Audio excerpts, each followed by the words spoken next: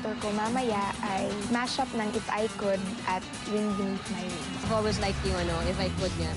And sabi ko sa sarili ko, if ever I would have, you know, a kid, kakantayin ko to for her. Yung With Beneath My Wings naman, parang bagay din sa kanya. Nahihirapan po kami sa blending, binabalik-balikan namin. Our products are baked with care for your enjoyment. Yes, I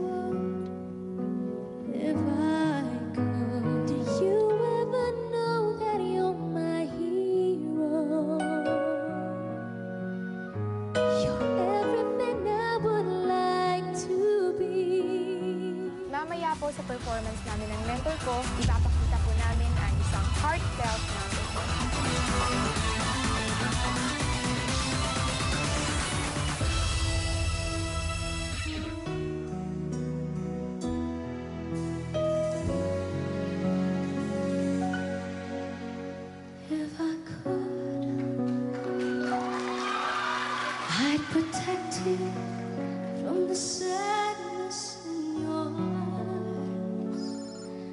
Give you courage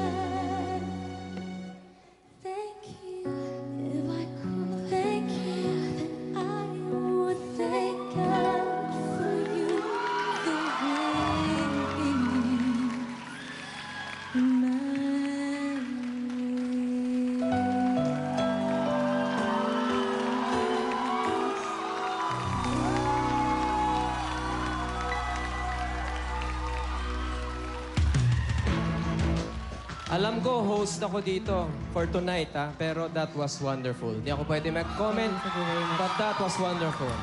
Ah, alam ko hindi mo ako tatanungin, pero unahan na kita. Parang ang napanood ko, dalawang mentor. Pinakamalinis. Pinakamalinis. Ako, ayan, naluluha ako. Affected ako kasi nakita ko yung sincerity nung ginawa nyo. Mentor, gusto kong proteksyonan at i-guide ang iyong protege. Protege, nagpapasalamat ka sa mentor mo. Perfect combination of songs. You had it arranged beautifully. And ever since, ito sasabihin ko na, isa sa mga favorites kong kumanta si Krisa dahil napakalinis kumanta.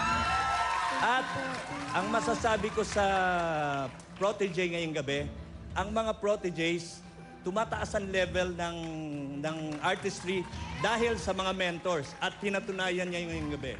Krisa, perfect. Aisa, terrific job. Thank you very much po. Thank you very much. Ako naman, kailangan ko lang sabihin talaga na kinilabutan ako sa kanta ninyo. Thank you very much. po. Balbon pa naman ako. Thank you po. Ang Salamat. linis-linis ng pagkakakanta niyo. Salamat po. Thank you Thank po. you very much. po. Congratulations, Bravo. guys. Bravo, Well bravo. deserved naman yung mga magagandang comments na yan. Krisa, please invite Um, your fans. Sa lahat po ng sumusuporta sa akin, um, sana po i-vote nyo ako ah, para makasama pa ako sa susunod na round. Utang na loob, Just please. type Proteges space Kriza and send to two, uh, 2344 or 367. Thank you very much. Salamat. Congratulations ulit sa inyong dalawa. Alright, ang ating live fan ranking number one, Jensen.